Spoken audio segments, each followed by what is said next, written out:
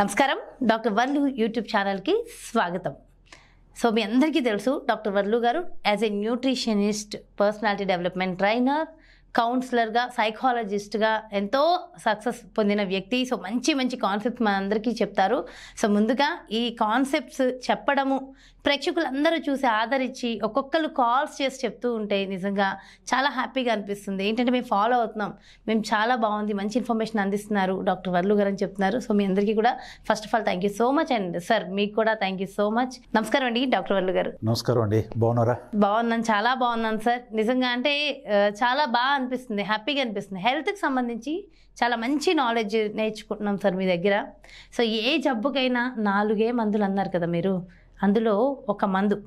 So already చెప్పేశారు మీరు ఇంతకుముందు ఒక రెండు వీడియోల ద్వారా ఆ మందుకు సంబంధించి పూర్తి డీటెయిల్స్ ఇచ్చేశారు. మరి ఇంకా మిగిలిన మూడు మెడిసిన్స్ ఏంటి? అవి కూడా తెలుసుకుని నేర్చుకుని అందరూ హెల్తీగా ఉంటే బాగుంటుంది కదా సార్. సో మనం అంటే ఏ జబ్బుకైనా కారణాలు రెండు మందులు నాలుగు అని చెప్పేసి మనం ఇంతకుముందు వీడియోలో మాట్లాడుకున్నాం. ఒకటి నిద్ర. అంటే ఆ మొదటి మందు ఏమిటి అంటే నిద్ర. ఏ జబ్బుకైనా కూడా నిద్ర బాగా పోవటం ద్వారా దాన్ని చాలా వరకు తగ్గించుకోవచ్చు అని చెప్పేసి. రెండో మందు ఏమిటి అంటే న్యూట్రిషన్ అండి. న్యూట్రిషన్ ద్వారా కూడా ఇవాళ ప్రపంచం అంతా కూడా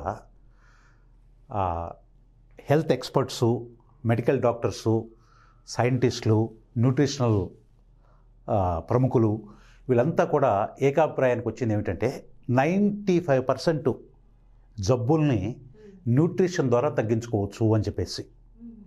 ఇవాళ ప్రపంచం అంతా కూడా మందు ఏదైనా మామూలుగా మెడి మెడికల్ డాక్టర్స్ ఇచ్చే మందు వేసుకుంటూ న్యూట్రిషనల్ కేర్ తీసుకుంటే అది తొందరగా ఏ జబ్బునైనా రివర్స్ చేసుకోవచ్చు అని చెప్పేసి ఇవాళ ప్రపంచంలో పెద్ద పారాడైమ్ షిఫ్ట్. మనస్తత్వంలో వైద్య శాస్త్రంలో ఒక విప్లవం లాంటిది అనమాట న్యూట్రిషన్కి అంత ఇంపార్టెన్స్ వచ్చింది. అంటే న్యూట్రిషన్ ద్వారా జబ్బులు తగ్గించుకోవచ్చు. ఎందుకంటే ఏ జబ్బు అయినా కూడా న్యూట్రిషనల్ డెఫిషియన్సీ ఉందనుకోండి ఆ జబ్బు ఒక్క రోజులో రాదు. రెండు మూడు సంవత్సరాలు మీరు న్యూట్రిషనల్ డెఫిషియన్సీలో ఉన్నారనుకోండి ఆ జబ్బు వస్తుంది. సార్ అసలు మరి న్యూట్రిషన్ డెఫిషియన్సీ అంటారు కదా అంటే ఏంటి సార్? న్యూట్రిషనల్ డెఫిషియన్సీ ఏంటంటే మన బాడీలో ముప్పై ఏడు లక్షల కోట్ల కణాలు ఉన్నాయని మనందరికీ తెలుసు. ఇవి గుండెలో కొన్ని ఉంటాయి కొన్ని కణాలు ఉంటాయి. బ్రెయిన్లో కొన్ని కణాలు ఉంటాయి కిడ్నీస్లో కొన్ని కణాలు ఉంటాయి లివర్లో కొన్ని కణాలు ఉంటాయి. మసిల్స్లో కొన్ని కణాలు ఉంటాయి బోన్స్లో కొన్ని మొత్తం శరీరం మొత్తం మీద కూడా కణ నిర్మ కణాలతోనే నిర్మించబడుతుంది బాడీ అనేది. అయితే మన శరీరంలో ఉండేటటువంటి బ్రెయిన్ ఉందనుకోండి దాని అవసరాలు ఒక రకంగా ఉంటాయి. ఉదాహరణకి బ్రెయిన్కి గ్లూకోజ్ కావాలి. తర్వాత ఒమేగా ఫ్యాటీ త్రీ యాసిడ్స్ కావాలి. అంటే మిగతా న్యూట్రియంట్స్ వద్దని కాదు మిగతా వాటితో పాటు ఇవి ఎక్కువగా కావాలి. ఏది? బ్రెయిన్కి మన హార్ట్ ఉందనుకోండి దానికి పొటాషియం మెగ్నీషియం ఎక్కువ అవసరం అవుతుంది మిగతా న్యూట్రియంట్స్తో పాటు.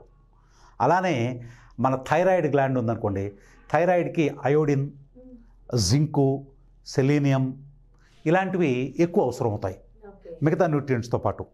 అలానే లివర్ ఉందనుకోండి లివర్కి B twelve B twelve vitamin C ఈ రెండు బాగా అవసరం అవుతాయి. ఇలా శరీర శరీరంలో ఒక్కో భాగానికి ఒక్కో అవయవానికి ఒక్కో రకమైన ప్రత్యేకమైనటువంటి అవసరాలు ఉంటాయి. ఓకే. అంటే శరీరంలో ఉన్న ప్రతి అవయము ఆరోగ్యంగా ఉండాలంటే ఆ డెఫిషియన్సీ ఫిల్ చేసుకోవాలంటారు? ఆ డెఫిషియన్సీ ఫిల్ ఆ డెఫిషి అసలు ముందు డెఫిషియన్సీ రాకుండా చూసుకోవాలి.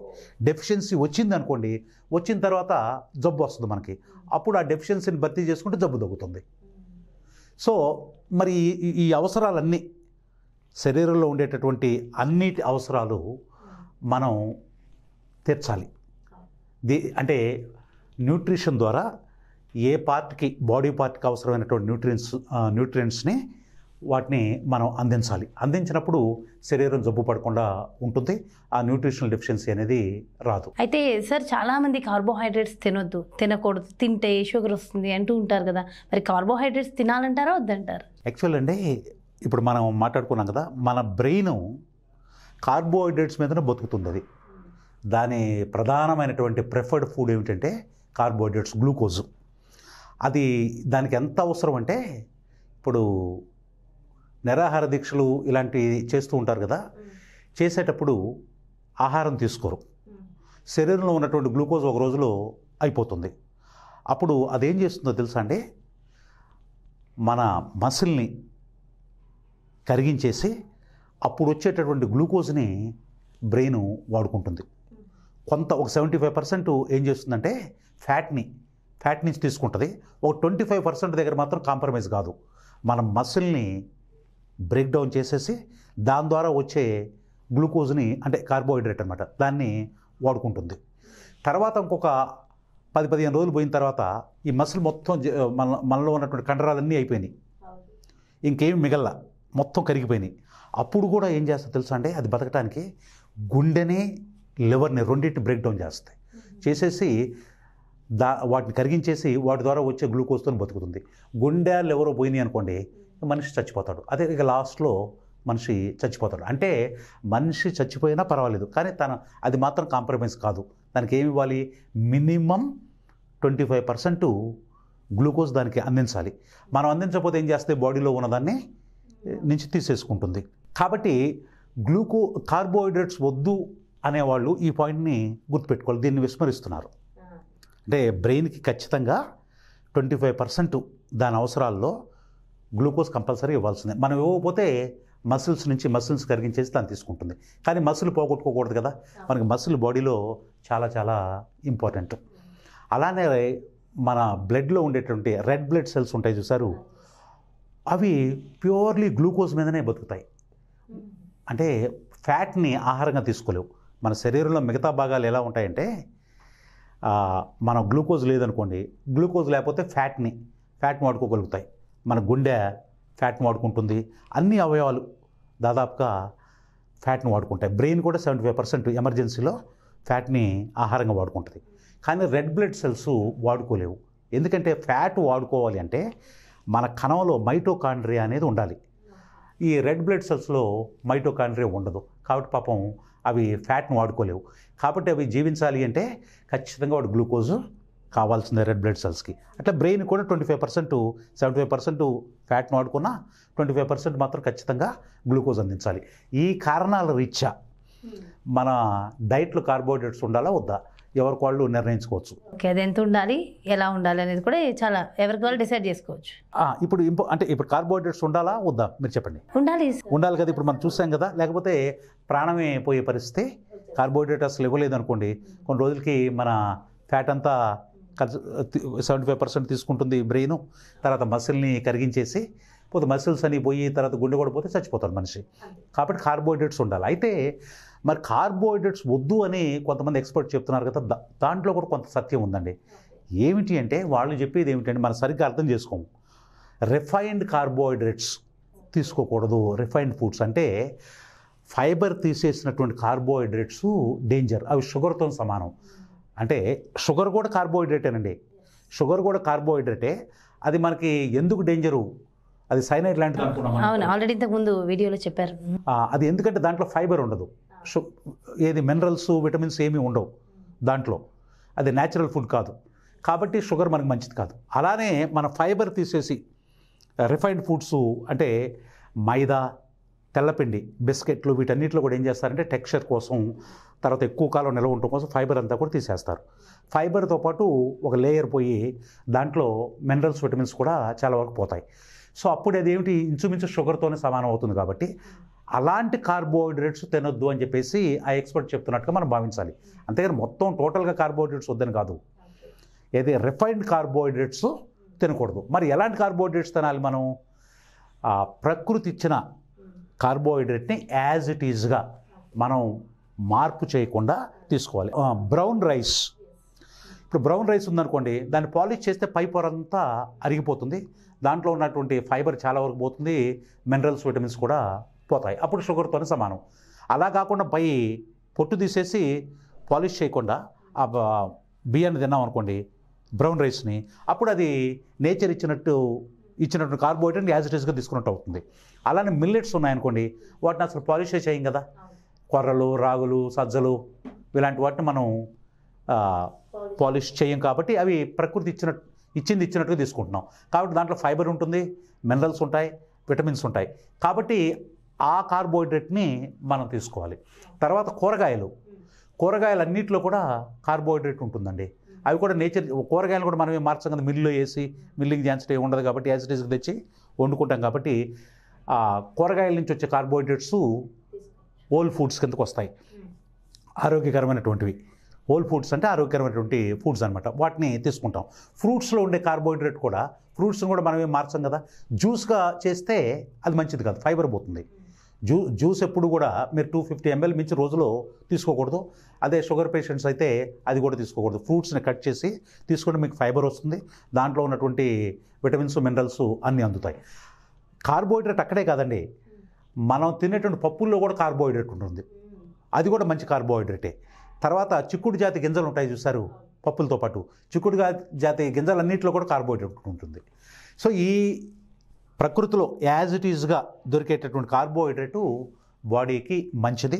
కార్బోహైడ్రేట్ అసలు లేకపోతే చాలా ప్రమాదం. సో చాలా బాగుంది సార్. అంటే చాలా పదార్థాల్లో కార్బోహైడ్రేట్స్ ఉంటాయి అవి అవసరం. సో అయితే ఎంత మేర తీసుకోవచ్చు అంటారు ఈ కార్బోహైడ్రేట్స్? అంటే మనం తీసుకున్న ఆహారంలోనండి మ్యాక్రో న్యూట్రియంట్స్ అంటాం. అంటే కార్బోహైడ్రేట్స్ కావాలి ప్రోటీన్ కావాలి ఫ్యాట్ కావాలి. ఈ మూడింటిని మ్యాక్రో న్యూట్రియంట్స్ అంటాం. అంటే పెద్ద మొత్తంలో అవసరం అవుతాయి కాబట్టి మ్యాక్రో అంటే బిగ్ అని. పెద్ద మొత్తంలో అవసరం అవుతాయి కాబట్టి వీటి మ్యాక్రో న్యూట్రియంట్స్ అంటారు. విటమిన్స్ మినరల్స్ని మైక్రో న్యూట్రియంట్స్ అంటారు. అవి చాలా చిన్న క్వాంటిటీస్లో అవసరం అవుతాయి కాబట్టి. సో మనం తీసుకున్న ఆహారంలో ప్రధానంగా ఈ మూడు కార్బోహైడ్రేట్స్ ప్రోటీను తర్వాత ఫ్యాట్స్ ఉండాలి. ఈ రేషియో ఇలా ఉంటే బాగుంటుందండి. నేను చేసిన రీసెర్చ్ ప్రకారం తర్వాత ఎక్స్పర్ట్ చెప్పేది అన్నిటిని మనం బేరీజ్ వేసుకుంటే కార్బోహైడ్రేట్స్ని అసలు తగ్గించుకోకుండా ఒక థర్టీ ఫైవ్ పర్సెంట్ కార్బోహైడ్రేట్స్ తీసుకోవాలి. అది ఏ ఏటి నుంచి? ఓల్ గ్రే ఓల్ గ్రెయిన్స్ నుంచి వచ్చేది కూరగాయల నుంచి వచ్చేది ఫ్రూట్స్ నుంచి వచ్చేది చిక్కుడు జాతి గింజలు పల్సెస్ నుంచి వచ్చేది తీసుకుంటే మనకి మంచిది. రిఫైండ్ కార్బోహైడ్రేట్ జోలికి పోకుండా. ఇక రెండవది ప్రోటీను ఒక ట్వంటీ ఫైవ్ పర్సెంట్ మన ఆహారంలో ప్రోటీన్ ఉండాలి. తర్వాత ఒక ఫార్టీ పర్సెంట్ ఫ్యాట్. ఫ్యాట్ మనం తీసుకుంటే బ్యాలెన్స్డ్ ఫుడ్ అవుతుంది. మన శరీరంలో ఉన్నటువంటి బాడీలో ఉన్నటువంటి కణాలన్నిటి అవసరాలు కూడా మ్యాక్రో న్యూట్రియంట్స్ అవసరాలన్నీ కూడా తీరుతాయి అన్నమాట అయితే సార్ కార్బోహైడ్రేట్స్ ఈ వెజిటేబుల్స్లో అంటే చిక్కుడుకాయలు ఫ్రూట్స్ మిల్లెట్స్ వీటిలో ఉంటుంది అని చెప్పారు కదా. సో పర్ డే అవి ఎంత ఎంత క్వాంటిటీ తీసుకుంటే థర్టీ ఫైవ్ పర్సెంట్ కార్బోహైడ్రేట్ వస్తుందంటారు? ఏమి సింపుల్ అండి. మనం రైస్ తీసుకుంటున్నాం అనుకోండి. ఒక two hundred grams brown rice తీసుకొని తర్వాత రోజు మొత్తంలో ఒక నాలుగు వందల గ్రాములు కూరగాయలు తిన్నాం అనుకోండి. తర్వాత పప్పు పప్పు ఒక ఎయిటీ గ్రామ్స్ పప్పు రోజులో తీసుకుంటే మనకి కావాల్సినటువంటి ఫ్రూట్స్ ఒక రెండు ఫ్రూట్స్. ఏది one fifty grams one fifty grams ఉండే ఫ్రూట్స్ ఒక రెండు తీసుకుంటే మనకు ఆ డేకి కావాల్సినటువంటి కార్బోహైడ్రేట్స్ మొత్తం కూడా వచ్చేస్తాయి. సార్ కార్బోహైడ్రేట్స్ గురించి చెప్పారు. So fibre. సో ఫైబర్ కూడా కార్బోహైడ్రేట్ అంటారా? అవునండి ఖచ్చితంగా అండి. కార్బోహైడ్రేట్లో ఒక భాగం ఏది? ఫైబర్ కూడా. ఫైబర్ అనేది ప్లాంట్ ఫుడ్స్లోనే ఉంటుంది. మాంసాహారంలో ఫైబర్ ఉండదు. ఓన్లీ ప్లాంట్స్ ప్లాంట్ ఫుడ్స్లోనే. అంటే మా బియ్యం తర్వాత మిల్లెట్స్ కూరగాయలు ఫ్రూట్సు పల్సెస్ అంటే పప్పులు ఆకుకూరలు కూడా చిక్కుడు జాతి గింజలు వీటిల్లో మా అంటే ప్లాంట్ మొక్క నుంచి వచ్చే ఆహారంలోనే ఈ ఫైబర్ అనేది ఉంటుంది. మాంసాహారంలో ఫైబర్ ఉండదు. సో ఈ ఫైబర్ అనేది స్త్రీలు థర్టీ గ్రామ్స్ పురుషులు నలభై గ్రాములు ఫైబర్ వచ్చేటట్టుగా చూసుకోవాలి. అంటే ఈ కార్బోహైడ్రేట్లోనే. అయితే ఇది ఎందుకు అవసరం అంటే ఫైబరు చాలామందికి ఈ రోజుల్లో ఇప్పుడు మీరు రిఫైన్డ్ కార్బోహైడ్రేట్స్ వద్దని చెప్తున్నారు కదా తెల్లపిండి మైదా ఇలాంటివి దానికి రీజన్ ఏంటంటే ఫైబర్ ఉండదు. ఫైబర్ ఎందుకు అవసరం అంటే అండి మనకి జబ్బులు రాకుండా ఉండటానికి అంటే మనకి డయాబెటీస్ రాకుండా ఉండటానికి బరువు పెరగకుండా ఉండటానికి బీపీ పెరగకుండా ఉండటానికి ఫైబర్ అనేది ఖచ్చితంగా మన ఆహారంలో ఉండాలి. ఈ ఫైబర్ ఏం చేస్తుందంటే మన డైజెస్టివ్ సిస్టమ్ హెల్త్ జీర్ణాశయం హెల్త్ని పెంచుతుంది. మన ప్రేవులు వీటన్నిటిని జ- జీర్ణాశయాన్ని ఒక స్క్రబ్ బ్రష్ తీసుకొని క్లీన్ చేసినట్టు క్లీన్ చేస్తుంది. ఇది ఫైబర్. ఈ ఫైబర్ అనేది మన పొట్టలో గట్ గట్ గట్లో ఉండేటువంటి బ్యాక్టీరియాకి ఆహారంగా కూడా ఉపయోగపడుతుంది. సో మన పొట్టలో మంచి బ్యాక్టీరియా చెడు బ్యాక్టీరియా రెండు ఉంటాయి. మంచి బ్యాక్టీరియాకి ఆహారంగా ఉపయోగపడుతుంది. సో ఫైబర్ లేదు అనుకోండి చెడు బ్యాక్టీరియా సంఖ్య పెరిగింది మంచి బ్యాక్టీరియా సంఖ్య తగ్గుతుంది. సో అందుకోసం కూడా మనం ఫైబర్ తినాలి. తర్వాత ఇంకోటి ఏమిటంటే మన లివర్ సాల్ట్స్ని బైల్ సాల్ట్స్ అని వాటిని ఉత్పత్తి చేస్తుంది. దాంట్లో కొలెస్ట్రాల్ కూడా ఉంటుంది. ఇవి రక్తంలోకి మళ్ళీ తిరిగి రాకుండా ఉండాలంటే మన బాడీలో ఫైబర్ ఉంటే వాటి బయటికి స్టూల్స్ ద్వారా బయటికి పంపించేస్తుంది. మనకి ఫైబర్ లేదనుకోండి స్టూల్స్ రాదు. అప్పుడు ఏమవుతుంది? ఈ కొలెస్ట్రాల్ మళ్ళీ రక్తంలోకి అబ్జర్వ్ అవుతుంది. Cholesterol levels blood cholesterol levels తగ్గించడానికి కూడా మనకి ఫైబర్ అనేది చాలా అవసరం అండి. అయితే ఫైబర్ ఫుడ్స్ ఎక్కువగా తీసుకున్నప్పుడు ఏంటంటే వాటర్ కూడా ఎక్కువగా కన్జ్యూమ్ చేయాలి ఎక్కువగా కన్జ్యూమ్ చేయాల్సి ఉంటుంది. తర్వాత ఈ ఫైబర్ అనేది మిల్లెట్స్ అన్నిట్లో ఉంటుంది. బ్రౌన్ రైస్లో ఉంటుంది. తర్వాత కూరగాయల్లో ఉంటుంది. ఫ్రూట్స్లో ఉంటుంది. పల్సస్ పప్పుల్లో ఉంటుంది. చిక్కుడు జాతి గింజలు అన్ని అన్ని కార్బోహైడ్రేట్లు న్యాచురల్గా దొరికే కార్బోహైడ్రేట్స్ అన్నిటి మిల్లింగ్ చేయనటువంటి అన్ని కార్బోహైడ్రేట్స్లో కూడా ఫైబర్ అనేది ఉంటుంది. బాగుంది సార్. చాలా మంచి ఇన్ఫర్మేషన్ చాలా అవసరం కూడా. సో న్యూట్రిషన్ వాల్యూస్ మనం తెలుసుకోవాలి. ఎలాంటి జబ్బుకైనా నాలుగే రకాల మందులు అన్నారు. సో ఒకటి స్లీప్ స్లీప్ గురించి డీటెయిల్గా ఎక్స్ప్లెయిన్ చేశారు. అండ్ దీని గురించి కూడా న్యూట్రిషన్ వాల్యూస్ గురించి కూడా చాలా చక్కగా ఎక్స్ప్లెయిన్ చేశారు సార్. ఇంకా ఇంకా చాలా డౌట్స్ ఉన్నాయి. అది ఇంకొకసారి నెక్స్ట్ వీడియోలో తీసుకుంటాను sir. Thank you sir. Thank you so much. నమస్కారం. నమస్తే. సో చూసారు కదండి? నిజంగా అద్భుతమైన ఇన్ఫర్మేషన్. సో ప్రతి ఒక్కరికి అవసరం. సో ఆ నిద్రకు సంబంధించి క్రితం వీడియోలో అందరూ తెలుసుకున్నారు కదా? సో ఇది న్యూట్రిషన్ బెనిఫిట్స్ ఏంటి? అసలు ఏంటి? దేనివల్ల మనం ఎప్పుడు ఆరోగ్యంగా ఉంటాము అనేది కూడా ఎంతో చక్కగా క్లియర్గా ఎక్స్ప్లెయిన్ చేశారు కదా. So super. సో డెఫినెట్గా నచ్చిన ప్రతి ఒక్కరు లైక్ చేయండి. సో మీరు దీన్ని ఎలా ఫీల్ అయ్యారో ఖచ్చితంగా కమెంట్స్ రూపంలో కూడా తెలియచేయండి. సో మంచి ఇన్ఫర్మేషన్ కదా. డాక్టర్ వర్లు గారు యాజ్ ఎ న్యూట్రిషనిస్ట్ ఎవరికైనా పర్సనల్గా డయట్ కావాలి మీ హెల్త్కి సంబంధించి ఒక రొటీన్ మీరు ఫాలో అయ్యి ఆరోగ్యంగా ఉండాలి ఎలాంటి ఆహారం తీసుకోవాలని మీరు అనుకుంటే డాక్టర్ వర్లు గారు అపాయింట్మెంట్ కావాలనుకుంటే కింద డిస్ప్లే అవుతున్నటువంటి నెంబర్స్కి కాంటాక్ట్ అవ్వచ్చు. అదేవిధంగా అదేవిధంగా ఎవరైనా అంటే ఎలాంటి సమస్యలతో అయినా సరే బాధపడుతున్నట్లయితే కౌన్సిలింగ్ కావాలనుకునే వాళ్ళకి ఒక మంచి counsellor as a psychologist. So ఎలాంటి సమస్య అయినా డాక్టర్ వర్లు గారిని సంప్రదించాలనుకుంటే క్రింద డిస్ప్లే అవుతున్నటువంటి నెంబర్స్కి కాంటాక్ట్ అవ్వండి. నమస్కారం.